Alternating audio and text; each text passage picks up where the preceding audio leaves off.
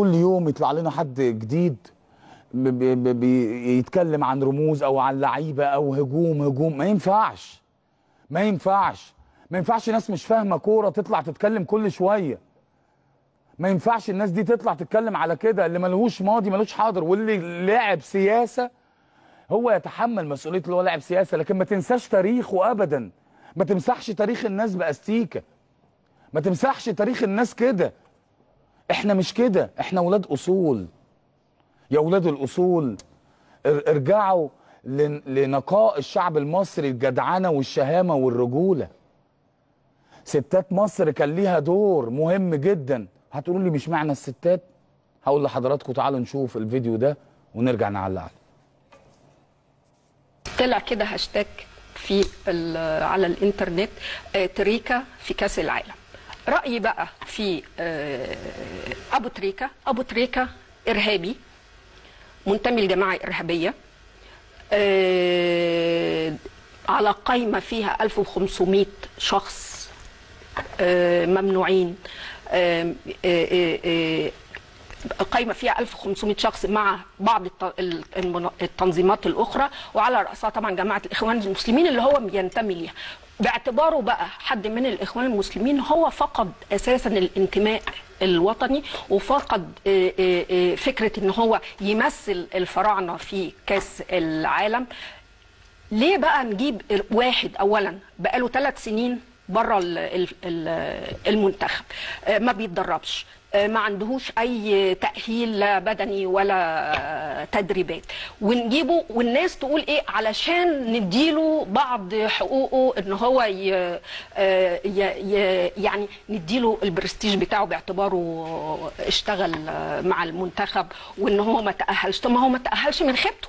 لأن هو كان بيشتغل وقعد فترة وقعد ي... ي... أربع مرات يحاولوا يدخلوا ال... يتأهل ثلاث مرات يحاولوا يتأهلوا وما تأهلوش. ما يجيش دلوقتي بقى ويحاول يختصر من فرحة الفريق وي... وي... وي... ويغطي على آه، محمد صلاح وكمان ال... محدش يقدر يغطي على محمد صلاح. طبعا حبيبي اتعمل في وقت مش طبيعي في وقت متزامن مع فرحتنا بح- بحيث إن هو يبقى اتحط في دائرة الضوء واتسحب ده من ال ال يعني فرحة المصريين بالمونديال وده رأيي. صعب عليهم على صعب عليهم إن محمد صلاح بقى رمز. وكان بالظبط. المكسب الوحيد بيحاولوا. بيحاولوا الرمز الرياضي الوحيد يغطوا اللي على كان محمد صلاح محمد صلاح أسأل فرمه انتهى هذا الموضوع إحنا عندنا. أحكام من. المحاكم آه، آه. حكمت آه ضد لا لا أنا مش. عايزه ارجع لكن. هو اللي قاله جرح. ده حصل؟ ها اللي قاله جرح. جمله لازم نقفل بيها. إنه الرمز الرياضي ال- ال- ال- اللي بينتمي أو المقرب من جماعة الإخوان اللي هو محمد. أبو تريكة جاء جاء جاء محمد اللي صلاح مسح فرمه اللي. مسح تاريخ كل النجوم السابقين. وهو محمد اللي محمد صلاح. محمد صلاح. ده النجاح علشان كان يغطي على محمد في صلاح. الملعب. إحنا بنتكلم كورة ولا بنتكلم سياسة؟ لا إحنا إحنا بنتكلم كورة هنا سياسة. بنتكلم كورة يبقى محمد صلاح جزء من نجاحه لا. كان وجود محمد أبو لو بنتكلم. كورة كان. دخلنا التصفيات اللي فاتت يا باشمهندس عمرو وفاز ببطوله ثلاث سياسة. مرات يا جماعة واخذ أيوة. وف- وخسر أكتر من مرة كورة- وفشل في التاول وهو حامل اللقب هو لعيب له تاريخ نشكره يكفي بنحبه لسه يكفي بنحبه يكفي ان نحول الفريق. لا حول. الفريق. للساجدين طيب. إحنا رجعنا فراعنه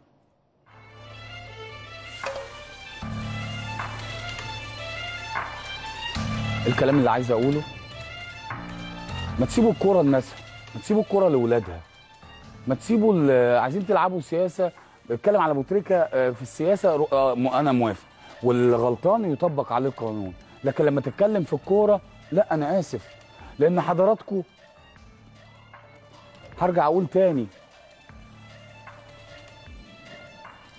كان ناس كتير قوي بيتقال على لعيبة الكورة اللي هي بتفرح مصر. كانوا بيقولوا عليهم رايحين يلعبوا. ده مصر يا جماعة بص الدنيا بتعمل إيه وفيها إيه وبتاع. جاي تقول لي دوري دوري إيه يا جماعة؟ عيب. آه، كان الناس تنزل في الشارع وده بيطالب وده يروح والدوري ودرجة تانية وظروفنا وحياتنا وكان بيطلع ونفس الناس.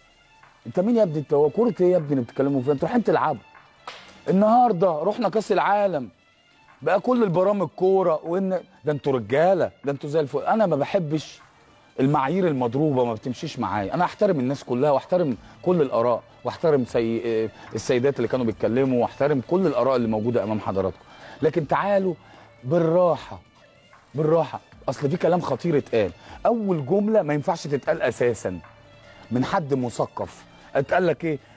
طلع رأي على ال social media أو هاشتاج بعد ما مصر وصلت كأس العالم هو الهاشتاج بيطلع إمتى؟ ما أنا أقول أبو تريكة لما مصر ما تروحش كأس العالم آه، هطلع هاشتاج آه، عودة آه، كابتن مثلا مصطفى عبده بعد ما نوصل كأس العالم. ما هو اله- الهاشتاج بيطلع بعد الوصول. لأنه نجم كبير لأنه نجم كبير لأن علمنا كلنا ممكن كنت أنا على المستوى الشخصي أكبر منه في الس... أو في السن وأكبر منه أو أقدم منه في النادي الأهلي لكن جه علمنا أخلاقيات معينة وجه علمنا إنسانيات معينة وجه علمنا حاجات كويسة. من غير ما ادخل في تفاصيل حكيناها لكم كتير. لكن إيه ده؟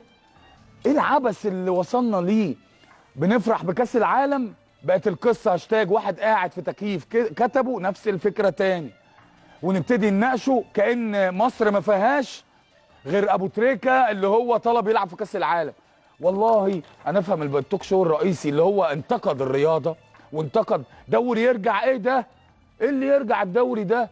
إيه ده- يا عم أنتوا رايحين تلعبوا مش وقته يا عم جماهير إيه وتعملوا لنا فتنة إيه وكره إيه وزفت إيه؟ أنتوا اللي قلتوا كده بالمناسبة.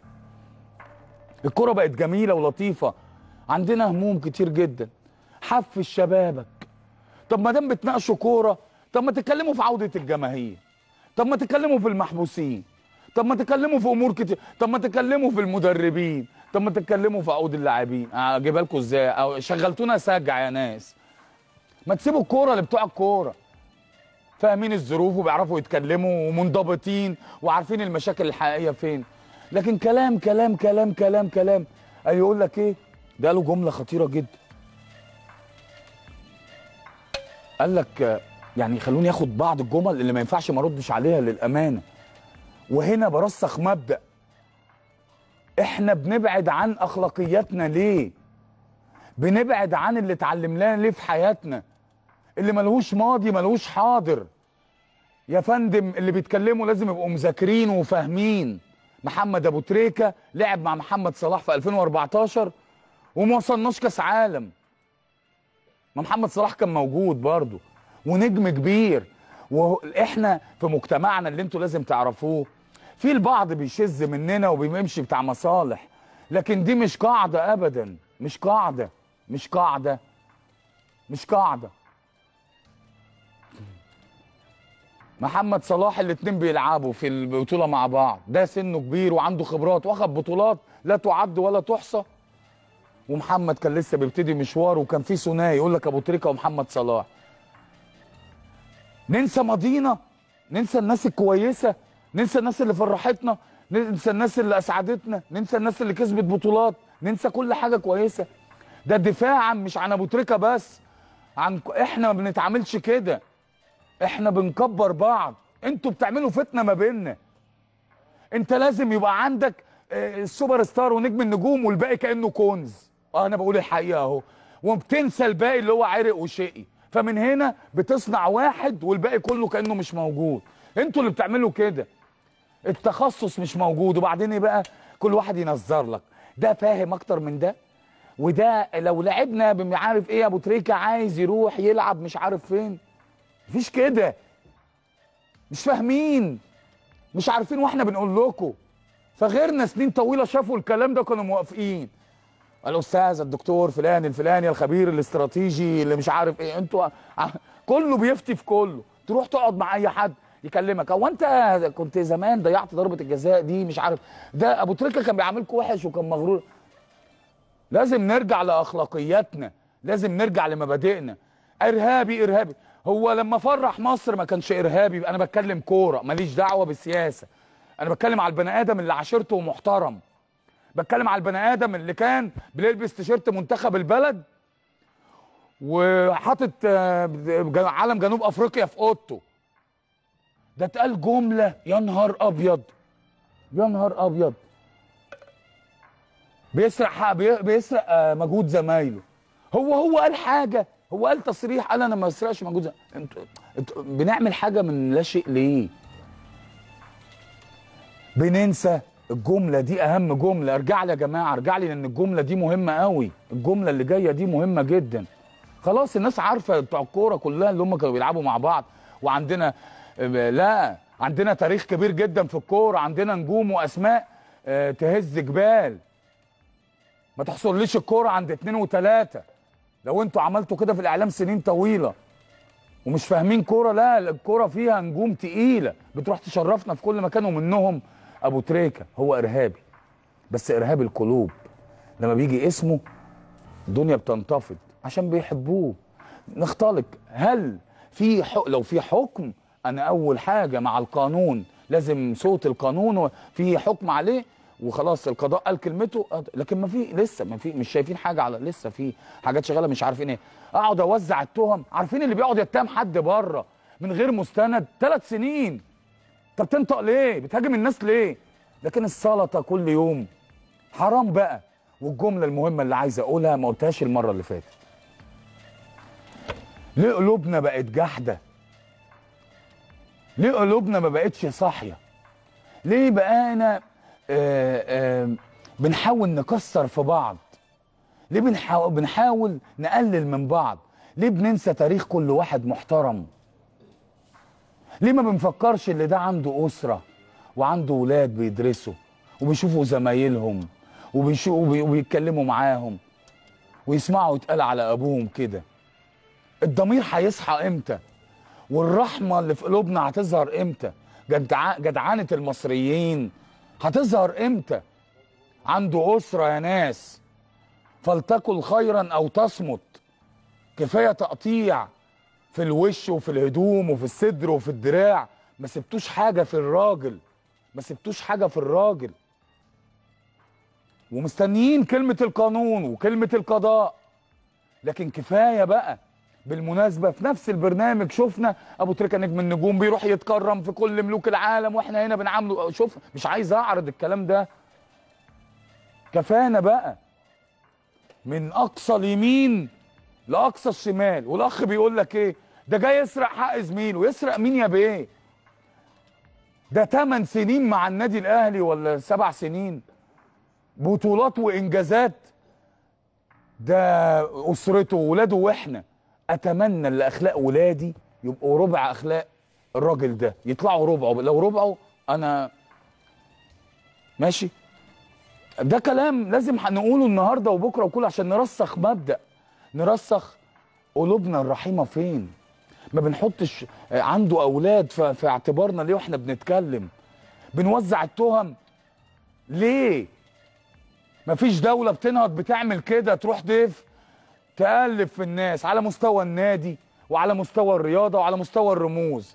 انت تروح ضيف تلتزم بالأخلاقيات. اللي يروح ضيف يلتزم بالأخلاقيات ويراعي ربنا. مش كده؟ مش كده؟ كتير. كل مرة وبعدين كلام بقى بصوا بقى أخطر جملة في الموضوع هقولها. الحمد لله اللي اتحول من اسمه المنتخب الساجدين لمنتخب الفراعنة. يا نهار أسود. ده أنا بكلم ناس مثقفة. ده حتى يعني أقول إيه؟ أنا أنا بجد ما عنديش حاجة أقول. طيب مش مش هوضح.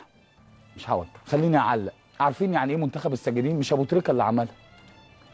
هحكي لكم لأول مرة الواحد بقى هيطلع لكم حاجة من الصندوق الأسود. اتقال على منتخب الساجدين اتقال في 2008 وإحنا في غانا. مرينا في صعوبات أول يوم رحنا اتنقل لنا الفندق لفندق جديد جدا جدا. اسمعوا القصة دي وهتفهموا حاجات كتير جدا وليا تعليق على الكلام اللي أنا سمعته. عشان تعرفوا قيمة لعيبة منتخبكم. عشان تعرفوا لما بنروح بنرفع علم مصر بنلتزم بوطنيتنا وأخلاقنا وجدعنتنا والإيثار اللي أنتوا ما تعرفوهوش. انتقلنا لفندق جديد.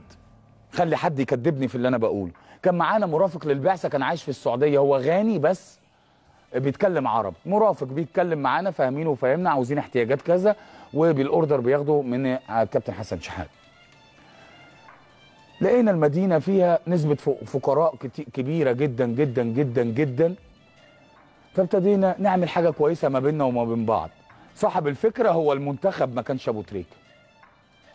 لكن هو كان بيتكلم مع الراجل عايزين كنا بنجيب أعتقد عجلين ونذبحهم ونجيب اللحمة دي نوزعها على الفقراء. عشان كده ربنا بيكرمنا من واسع. نروح نقابل كوت ديفوار طاحن بلغة الكورة غينيا إخوات بنجورة ستة وهيقابلنا بعد كده تلاقي ربنا كرم. الجون يتصفى أول دقيقة. ما هو ربنا معاك عشان بتعمل خير. فاتقال عننا ليه بقى منتخب الساجدين؟ غير الخير اللي كان بيتعمل قبل كل أعتقد كل تمرينة وصلت في الآخر لكل تمرينة بنعمل ده وتتوزع مع الراجل دوت. أنا أتمنى كان اسمه حسين أتمنى إن أنا أفتكر اسمه. وكان نلم من بعضينا كلعيبه ونعمل واجب. أنا عيب اللي أنا أقول الكلام ده بس لازم أنتوا تعرفوا الحقيقة اسم منتخب الساجدين سببها إيه. فعم حسين ده لقى اللعيبة بتتكلم في خير وبتتكلم في حاجات كويسة. قول لنا لو في حاجات نعملها ربنا كرمنا مش عايزين الفلوس اللي بتجي لنا كان الرعاية كانت بتيجي وقنوات تسجل اتعملت بماديات وده كان ذكاء. الكابتن سمير زاهي إيه اللي حصل بعد كده؟ اللي حصل بعد كده؟ ربنا بيكرمنا أكتر وأكتر وأكتر. الراجل الغني ده جاء عرض على أبو تريكة حاجة مهمة جدا. قال له في جامع هيتهد لو ما اتدفعش مش عارف 24 ألف دولار. فابو تريكة على طول راح للعيبة غرفة غرفة جه اتكلم يا جماعة في كذا كذا كذا عم حسين لما عرف ان إحنا ناس بن بنروح للخير والكلام ده في جامع بيتهد هناك. وهتتاخد الأرض دي. مين مش عايز أخش في تفاصيل أكتر من كده إحنا عارفين التفاصيل كانت أقوى من كده فقلنا نلحق بسرعة. أبو تريكة عرض اجتمعنا اللعيبة عرض الأمر مع كابتن الفريق وقتها كان أحمد حسن وعصام الحضري. وأنا كنت تالت أعوذ بالله من كلمة أنا كنت تالت وكل اللعيبة اللي كانت موجودة في 2008 كل لعيب كل حاجة كانت معاه دفعها. لابو تريكة. مش هو لوحده. فالدفع كونا الفلوس وزياده ادينا الراجل الفلوس الحق ادي الناس اللي بيبنوا الجامع والحق الأرض دي. فكان الأتوبيس بيمشي في غانا الموضوع انتشر والصحافة كتبته هناك وإحنا ما نطقناش أساسا. اتوبيس مصر كان بيمشي في شوارع غانا. يشوفوا علم مصر على الاتوبيس يعرفوا اللي ده كل اتوبيس بعلم البلد. غانا كلها كانت تسجد في الأرض كده. فكنا نستغرب. كل يوم تمرين كل يوم محاضرة قدام الفندق الناس تشوف تيشيرت منتخب مصر يروحوا ساجدين في الأرض. فمن هنا طلع اسم منتخب الساجدين. لكن لما أنتوا بتسمعوا نقف حاجة زي كده بتقولوا نسينا المحفظة. ومش عارف إيه ده الحساب البنك قافل النهارده. مش موجودين. فإحنا لينا دور مجتمعي بنعمله لكن مش لازم نطلع في التلفزيونات نعلنه وده كان حقيقة كلمة منتخب الساجدين. فمن هنا مسمى منتخب الساجدين أفضل بكتير قوي من الفراعنة. وكفاياكم ظلم للناس. نحترم الرموز ونحترم النجوم ونحترم اللي أسعدونا. وبلاش فكرة آه النهارده الموجة فين فاشتم اذع وفي الآخر مش هيبقى لنا كبير. باللي أنتوا بتعملوه مش هيبقى لنا كبير. ومحموقين قوي وبتوقعوا ما بين اللعيبة. محمد صلاح لعيب كبير وأبو تريكة لعيب كبير و... وفلان الفلاني لعيب كبير وفلان الفلاني لعيب كبير. وإحنا بنحمي بعض وبنحافظ على بعض وكل واحد له قيمة سواء في النادي بتاعه أو في المنتخب. إحنا بنتعامل كده. لكن اللي أنتوا تفرقوا ما بين الكل. ودوت وهيروح ياخد حق زمايله. على الأقل لو أنتوا بتقولوا كده ولا اتربى في النادي الأهلي جوه ده ولا في منتخب مصر وبلده هو لابس تيشيرت بلده وعمل ده.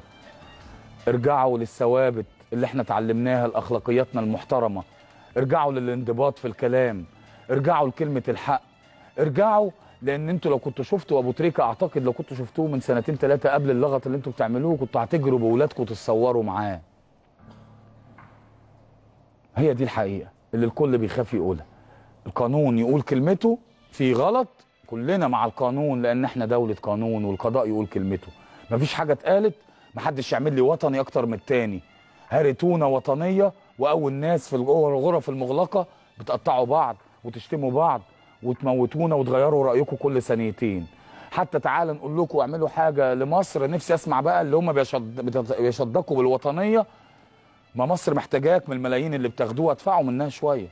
ادفعوا منها شوية عشان تتساوى الأمور لو كل واحد تبرع بزكاته الطبيعية أقسم بالله أقسم بالله مصر دي هتبدل. لكن عبارة عن فكرة أزايد على وطنية الناس. أعمل نفسي أنا اللي وطني والباقي كله مش فاهم حاجة.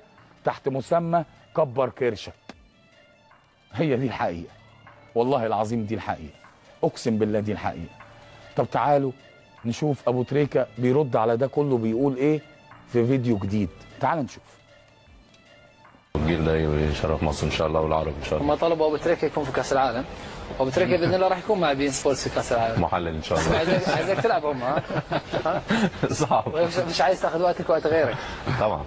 وبعدين الجيل ده تعب في الوصول فمن حقه إن هو يبقى تواجد لوحده. شاء الله. لأن الناس آه، دايما لا تنسب المجهود للآخرين. لا هم تعبوا في المجهود التصفيات وحقهم إن شاء الله ويشرفوا مصر والعرب إن شاء الله في إن شاء المنزل الله. مش هتكلم كتير اتكلمت في كل حاجة. أتمنى بعد اللي قاله أبو تريكة أنا الكلام ملخص نفسه ما اخدش حق زمايلي أنا رايح أحل أنا مع أنا ما اتكلمتش. الراجل آه، ناقص يقول يصرخ كده أنا ما اتكلمتش ناس هي اللي عملت كده. حرام بقى. فال يا, يا أستاذة اللي اتكلمتي ويا أستاذة اللي أنا بحترمكم جدا. لما آه، شفتوا الراجل قال إيه؟ ده كلامه هو بقى ولا مكتوب تويته ولا فلان تبرع له اللي هو يكتب من دماغه وبنناقش مواضيع من غير مواضيع. عندنا حاجات تهم البلد كتير قوي نناقشها ونقف جنب المواطن ونتكلم في نوعي شباب عندنا حاجات كتير قوي نتكلم فيها. وسيبوا الرياضة اللي بت- بتفرحكم ومصدر السعادة في حالها. كفاية توقعوا فيها شمال ويمين لكن بعد الكلام اللي الراجل قاله يا أستاذة ويا أستاذ قولوا له إحنا آسفين. قولوا له كنا فاهمين غلط. قولوا له إحنا ظلمناك. قولوا له أنت فعلا متربي وابن ناس محترم ولو القانون والقضاء قال غير كده إحنا هنبقى مع القانون والقضاء وأنا هبقى معاكم.